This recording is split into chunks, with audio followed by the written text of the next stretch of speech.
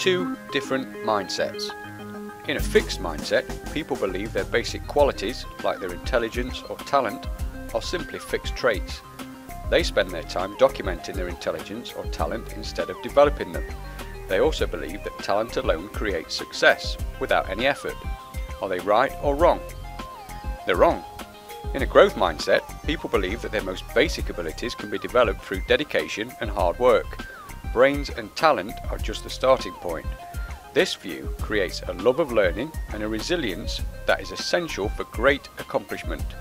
Virtually all successful people have had these qualities.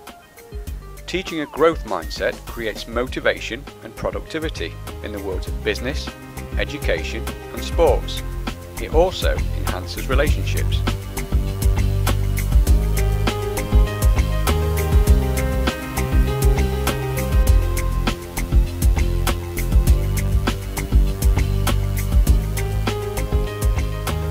What is the Brunt's Learner? We want to develop that growth mindset. We want to develop the skills and qualities to ensure success at GCSE, A-level, degree, in employment and in life.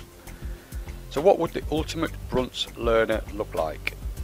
We've talked to you about the skills and qualities that you feel are important to develop that growth mindset and to become successful.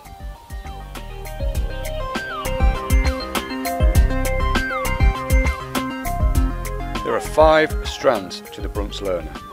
Problem solvers, resilient learners, independent learners, collaborative learners and reflective learners. These are the five steps to success.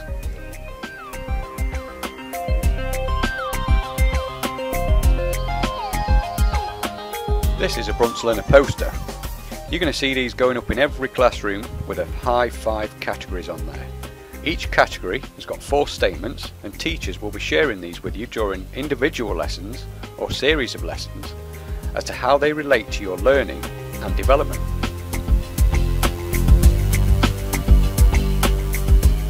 Here you can see an independent learner.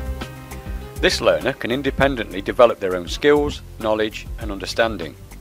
They can also identify questions to answer and problems to resolve. They plan and carry out research, appreciating the consequences of decisions. They can analyse and evaluate information, judging its relevance and value.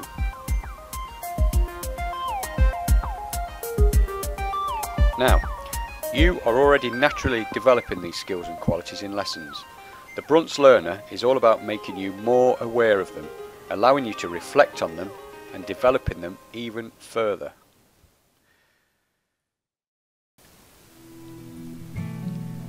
So to summarise, how the Brunt's Learner will affect your learning. As I've said, teachers will be making you more aware of the skills and qualities that you'll be developing in lessons or a series of lessons.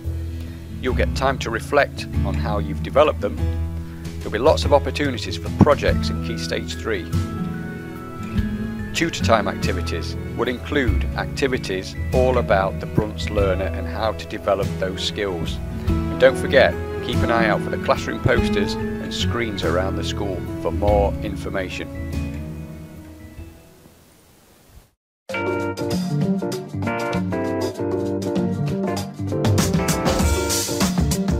In this film, we're going to look at independent learning, what it is, how to do it, and why it's important.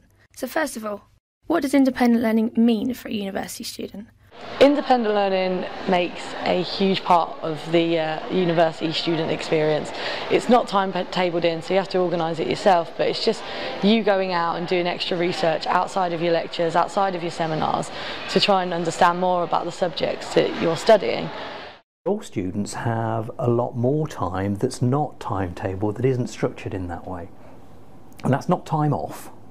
And in some respects, the time that you're not in lectures or labs or in the studio is the most important time because that's where you're really making it count. You are taking charge of the way in which you learn and to some extent what you learn. Why is independent learning important? To expand your knowledge, you've come to university to kind of be an expert in certain areas and the best way to do that is they tell you certain bits of information, you go out and you find out more, you read journals, you read your textbooks, you just get better understanding of what they're talking about and you get better discussions in your seminars if you do that extra reading.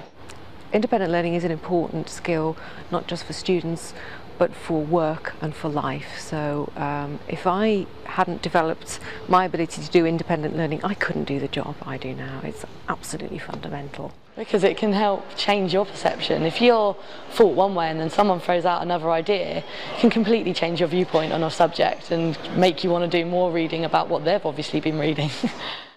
what sort of things does independent learning involve doing? Whatever way best suits you. I mean, some people go to the library by themselves, print off journals and stuff. You can get a group study room out and get a group of you in there talking about the subject. You know, some of you can read some journal, some read another, and then talk about the key points. It doesn't mean being by yourself. You're finding out other people's viewpoints as well and, you know, getting their understanding so that you've got a better understanding of the subject. You've got to think about your subject when you're outside of the classroom, live it, be it. And the best advice I would say is find a group of like-minded people on your course persuade them to create some sort of study group where you just talk about stuff over coffee. When you do come to those bits of the course where you're struggling a bit, they'll help you, they'll be a lifeline and they'll support you and they're really, they can be, well, friends for life, basically. Independent learning is at the heart of the university experience. If you get it right, it can be really rewarding.